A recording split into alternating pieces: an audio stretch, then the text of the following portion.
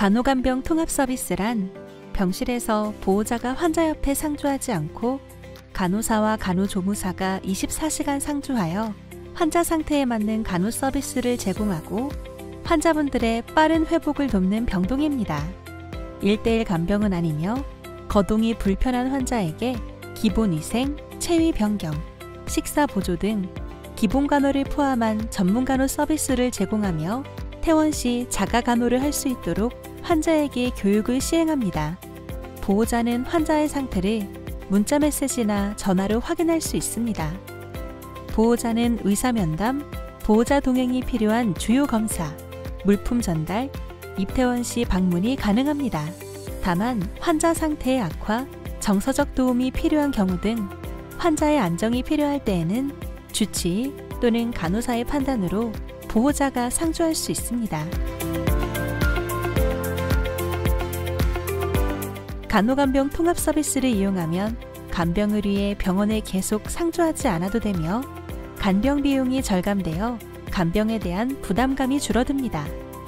간호간병 통합 서비스는 보호자 상주 제한 및 면회 시간 준수로 환자의 감염 관리에 큰 도움이 됩니다. 뿐만 아니라 환자가 조용하고 쾌적한 환경에서 치료를 받을 수 있습니다.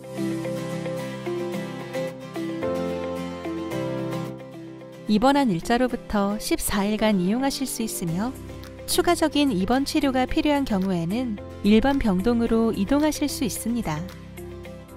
의사 면담 및 보호자 동행이 필요한 검사나 물품을 전달할 목적으로 방문 시에는 반드시 침상 앞에 있는 병문안객 기록지를 작성해 주세요.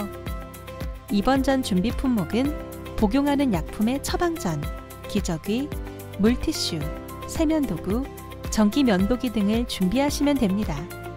안전한 입원 생활을 위하여 칼, 가위 등 날카롭거나 위험한 물건은 가져오시면 안 됩니다. 사용하지 않는 물품이나 지참약은 보호자분께서 집으로 가져가시면 됩니다. 환자의 안전과 치료를 위해 입원 기간 동안에는 주치의 허락 없이 외출할 수 없습니다. 병동 밖으로 이동이 필요한 경우에는 반드시 담당 간호사에게 알려주세요. 환자의 안전을 위해 흡인, 질식, 알레르기를 유발할 수 있는 음식물의 반입과 섭취를 제한하고 있으며 병실 내에서 다른 환자들과 음식물을 나눠 먹지 않도록 해주세요.